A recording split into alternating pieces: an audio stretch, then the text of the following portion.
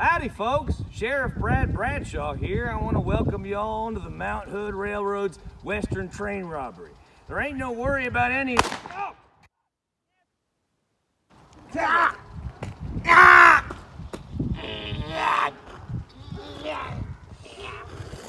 Wait, that that's one of the robbers, right? Is that? Are we good? Because that was actually, folks, that was actually a train robber. So don't wor- don't worry. Man, it, it just you know it's all right. You know, this is this ain't like. Ah! Oh! Man, that stings stings in the ear.